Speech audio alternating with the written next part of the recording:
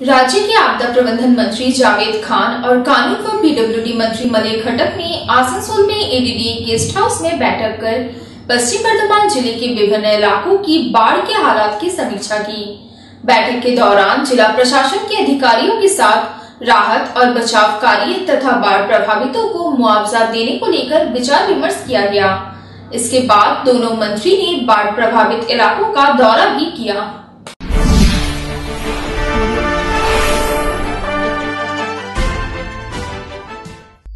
आसनसोल के इतिहास में आई अब तक की सबसे भीषण बाढ़ में हुए नुकसान के बाद अब राज्य सरकार बाढ़ प्रभावित लोगों तक सहायता पहुँचाने में जुट गई है। शुक्रवार को राज्य के आपदा प्रबंधन विभाग के मंत्री जावेद खान तथा कानून और पीडब्ल्यूडी मंत्री मलय घटक ने सर्वप्रथम एडीडीए के गेस्ट हाउस में जिला प्रशासन के साथ बैठक की।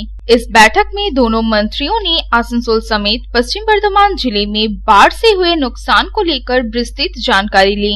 साथ ही बाढ़ प्रभावितों के लिए मुआवजे को लेकर भी विचार विमर्श किया गया। जिला प्रशासन के साथ बैठक के बाद मंत्री जावेद खान और मंत्री मलय घटक ने बाढ़ से सबसे ज़्यादा प्रभावित रेल पार्क के विभिन्न इलाकों का दौरा किया।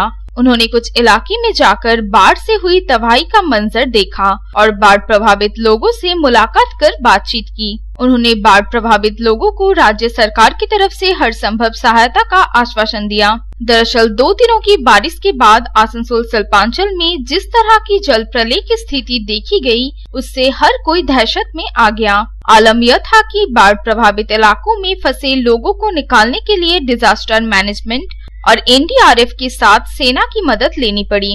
कानून एवं पीडब्ल्यूडी मंत्री मलय घटक ने बताया कि यह आसनसोल के इतिहास में आई अब तक की सबसे भीषण बाढ़ थी। लगातार हुई बारिश तथा डीवीसी द्वारा माइथन और पंचित डैम से अचानक भारी मात्रा में पानी छोड़ दिए जाने के कारण आसनसोल समेत पश्चिम बर्धमान ज़िले में बाढ़ की गंभीर स्थिति उत्पन्न हुई।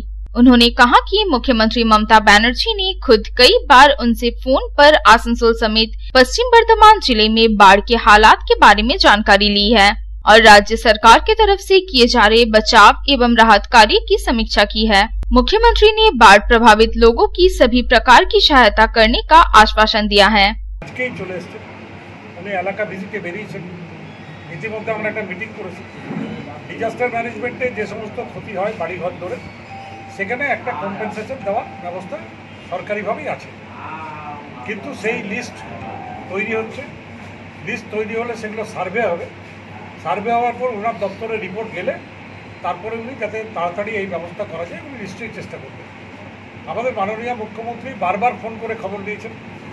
গত, গতকাল তার নির্বাচন ছিল। কিন্তু তার সত্ত্বেও এই যে জল, এই যে বৃষ্টি, এই যে মানুষ আটকে পড়া সে ব্যাপারে উনি উদ্বিগ্ন ছিলেন উনি বারে বারে ফোন করেছেন খবর নিয়েছেন কি ধরনের রিলিফ দরকার রিলিফ পৌঁছেছে কিনা আজকে সকালেও দু তিনবার তিনি খোঁজ খবর দিয়েছেন वहीं दूसरी तरफ राज्य की आपदा प्रबंधन विभाग के मंत्री जावेद खान ने कहा कि आसनसोल में बाढ़ से हुए नुकसान का आकलन लगाया जा रहा है सभी इलाकों का निरीक्षण करने के बाद विस्तृत रिपोर्ट तैयार होगी उसी रिपोर्ट के आधार पर मुआवजे की राशि का निर्धारण किया जाएगा मुआवजा राशि बाढ़ प्रभावित लोगों के सीधे बैंक खाते में ट्रांसफर की जाएगी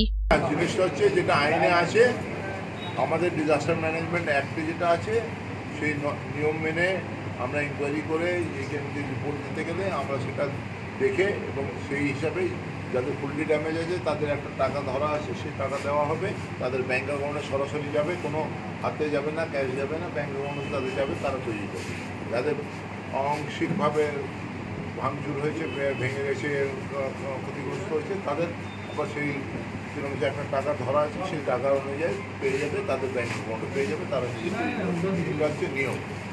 এইখানে কেরম যে মিউনিসিপ্যালিটিও তৈরি করবে না এইখানে কেরম সে ডিএমও তৈরি করবে না নিজেরা তৈরি করতে হবে আমরা টাকা দেবো रामबाबू यादव की रिपोर्ट पब्लिक टाइम्स